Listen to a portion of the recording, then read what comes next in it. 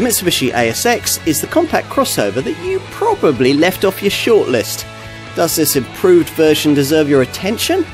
It's certainly smartened up its act, a contender that's just that bit more capable than your average little urban SUV in an age where increasingly small SUVs ride and handle just like the compact hatches that they're based on, this ASX is cut from a rather different kind of cloth. But then you might expect that from a brief look at the basic recipe here. It's a small crossover with a big 2 litre petrol engine lacking any sort of turbocharger. Uh, it's a power plant that's marshalled in most models by a manual gearbox featuring only five speeds. Uh, there's also proper ground clearance and the option of a decent four wheel drive system if you want it. Now, this is how SUVs used to be and how they were when this car hit the market in its very first form back in 2010. That 2 litre petrol engine is the only one on offer and it puts out 150 horsepower. It replaces the previous 1.6 litre unit and that could only muster 115 horsepower. That new output is obviously higher than rivals, but uh, it's necessary given this power plant's lack of forced induction. This inevitably affects efficiency with the stats for the manual manual model seeing an unremarkable WLTP combined cycle fuel figure of 37.7 mpg and an NEDC rated CO2 reading of 161 grams per kilometre. Buyers choose between a front driven manual model or the top version that we're trying here, which gives you an INVECS 3 CVT auto gearbox and Mitsubishi's proven four wheel drive system.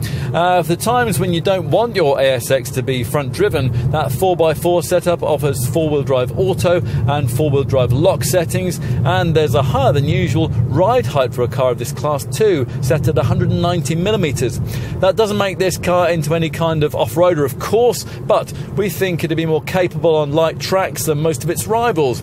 And it'd be a better tow car too for something like a small caravan, thanks to the four wheel drive option and the 1.3 ton brake towing capacity. But few ASXs will have to work for their living in such a fashion, and even fewer will ever be seen on anything other than a paved surface. So, if you were minded to consider this Mitsubishi, uh, you'll really have to decide whether its tarmac drive dynamics would suit your preferences.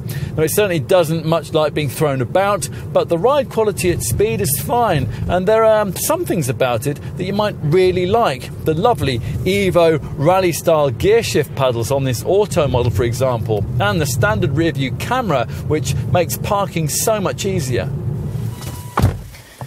Facelift budgets rarely allow for any fundamental changes in cabin architecture, and this one's no exception. As for the updates made here, well, most of those are detail ones. There are new seat fabrics, or in the case of this top Exceed model, smarter leather upholstery. Uh, the air conditioning controls have been redesigned, and they now feature piano black and silver accents. More piano black trimming now features on the central instrument panel, and there's a smarter black headliner too.